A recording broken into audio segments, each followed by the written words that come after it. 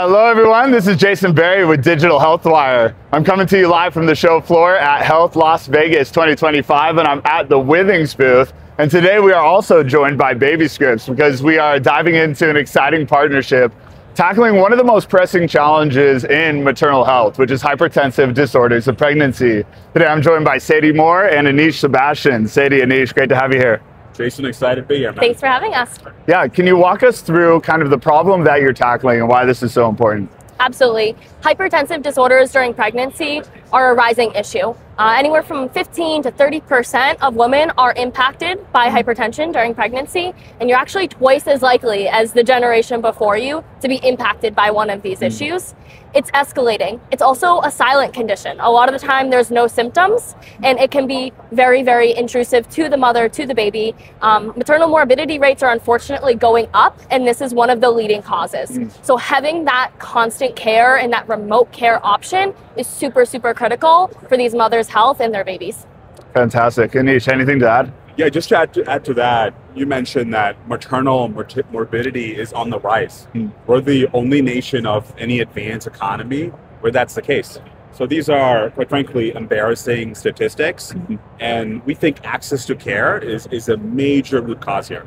So I'm excited to talk a little bit more about the partnership and and showcase some real results that we're seeing. Yeah, embarrassing is not the wrong word to use there. Every time I see those numbers, um, it's tough to look at. How does this partnership kind of intend to move the needle on some of these numbers? Yeah, I would just say that like having that constant care with that BabyScripts is providing, not just with a device, but with an entire program.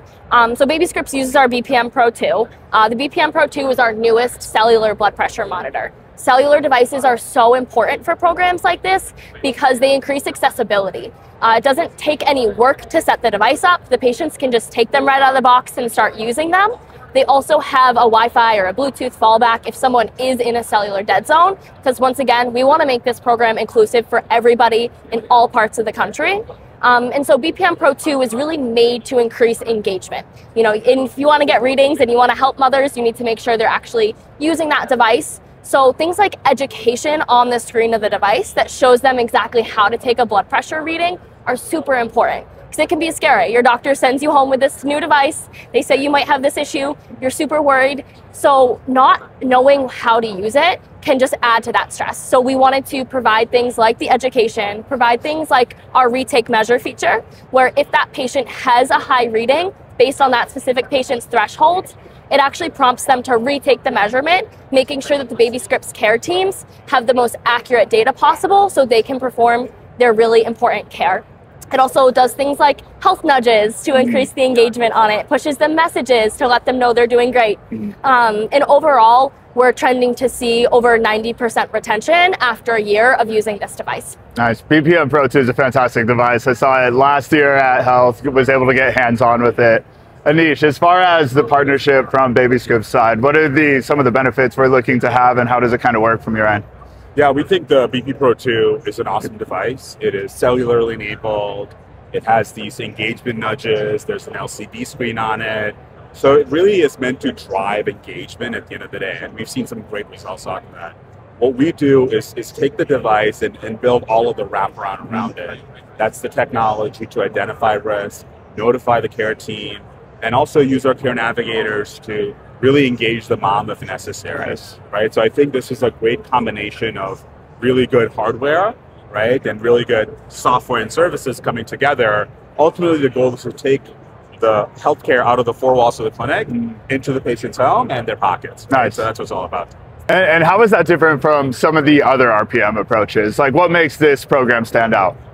Yeah, for us, it, it, it truly is that combination of that specialization on maternity that we bring to the table and a premier device that Withings brings to the table, mm-hmm. right? One thing we, we focus on quite a bit is, is the fact that there's you know really good cellular connectivity, right? That that's not necessarily the case with a lot of other devices.